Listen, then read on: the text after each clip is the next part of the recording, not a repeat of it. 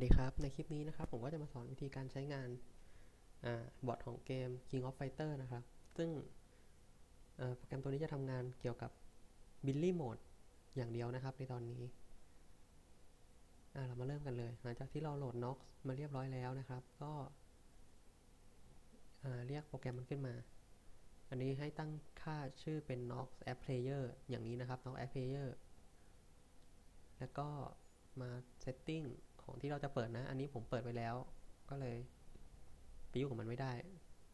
แต่ว่า setting ตรงนี้ก่อน setting ตามนี้นะครับ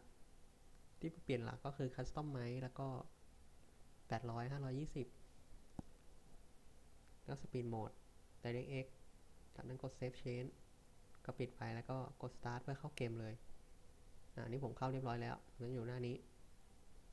หลังจากที่เราเข้าเกมเรียบร้อยแล้วนะครับ ก็ ไปที่สมาคมมิลปองมิลลี่เสร็จปุ๊บเปิดบอร์ดเลย เลือกที่ไฟล์นี้นะครับ แล้วก็ run as admin อืมจากนั้นก็ล็อกอิน username กับ password เนี่ย เพื่อนๆจะได้จากการกรอกแบบฟอร์มนะครับ หลังจากการสนับสนุน ของเพจเราแล้วก็ เอามาใช้ตรงนี้แหละ ไม่ใช่ไม่ใช่ username กับ password ของ Line นะครับ อย่าเข้าใจผิดนะ เมื่อเราใส่แล้วก็ connect จะขึ้นอย่างนี้ code connect enjoy เสร็จ ก็กด แล้วก็ start ได้เลย จากนั้นรอ เดี๋ยวมันจะทำงานให้ เราก็คือเราอย่าไปยุ่งอะไรกับมันนะครับ เนี่ยเห็นนะมันกดให้แล้ว นี่มาผมอยู่นี้นะผมมาไว้ข้างนอก อย่าไปคลิกอย่าไปอะไรนะครับ รอได้อย่างเดียวนะ ถ้าไปแย่มันคลิกปุ๊บน่าจะเฟลได้ เพราะฉะนั้นแล้วระหว่างที่มันทำงานอยู่ก็รออย่างเดียวประสิทธิภาพในการทำงานนะครับ มันก็จะไปได้ด่านประมาณ 40 ขึ้นนะ อยู่ที่ว่าคอมใครจะแรงขนาดไหน ซึ่งถ้าเราไม่แหลกเลยเนี่ย โปรแกรมก็จะจะทำงานได้ดียิ่งขึ้น ส่วนถ้าคอมใครช้าๆ หรือว่าใช้โปรแกรมนกไม่ได้เนี่ยอาจจะมีปัญหาในการใช้งานนะครับ ตรงชุดนี้ก็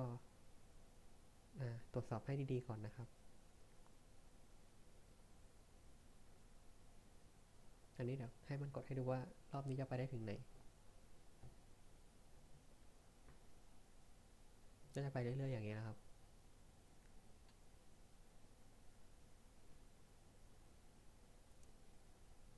สำคัญเลยนะครับว่า อย่าไปคลิกอย่าไปขยับอะไรทั้งนั้น ระหว่างที่มันกำลังกดเสาอยู่ เพราะว่าถ้ามันกำลังกดอยู่เนี่ยแล้วเราไปแย่งมันกดหรือว่าเราคลิกที่อื่นอย่างเงี้ย มันจะทำงานผิดพลาดทันทีนะ เพราะมันเหมือนเราคลิกบังคับให้มันล็อกเสาไว้อะมันก็จะอาจจะไม่ตรง แต่ถ้าเราไม่ไปยุ่งอะไรกับมันเลยเนี่ยให้ปล่อยมันทำงานเนี่ย มันก็จะเนี่ยทำงานตามของมันเนี่ยแหละก็จะไปได้ไกล สูงสุดที่ห้าสิบเลยนะครับ บ่อยมาก แต่ว่าถ้าใครไม่ได้ห้าสิบก็ไม่ต้องอันนี้ไปเพราะว่าจำนวนครั้งที่เราได้รับต่อวันเนี่ยมันจะสูงมากๆอยู่แล้ว ซึ่งไอของรางวัลแม็กประจำวันทุกวันเนี่ยแม็กอยู่แล้ว แล้วก็จะได้เกินมาด้วยอยู่ที่ว่าใครจะได้ เกินไปเท่าไหร่ลองมาดูกันครับเสียดายเมื่อกี้ไม่ได้คูณสองนะ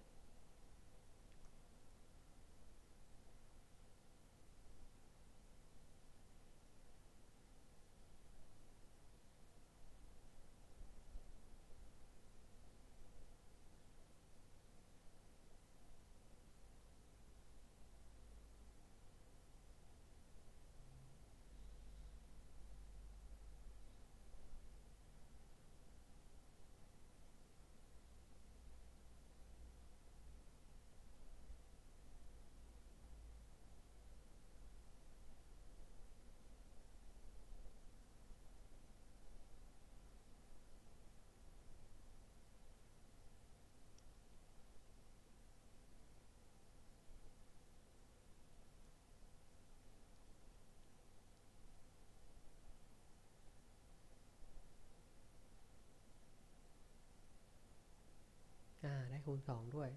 สามอันเลย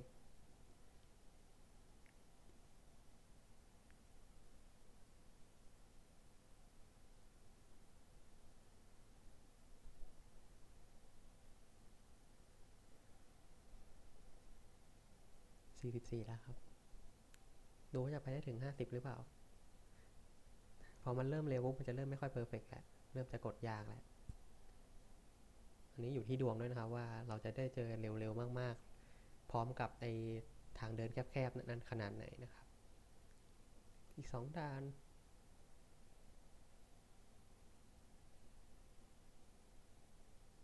อ่าจบครับผม เสร็จปุ๊บเราก็กด stop ไม่งั้นเดี๋ยวมันจะเล่นต่อเอง กดปิดเลยก็ได้นะ ผมไม่แน่ใจว่า stop ได้หรือเปล่า เพื่อนจะรอดูก็ได้นะครับ แต่อันนี้ผมจะเทสให้ดูแค่ครั้งเดียวไงผมก็เลยไม่อยากให้มัน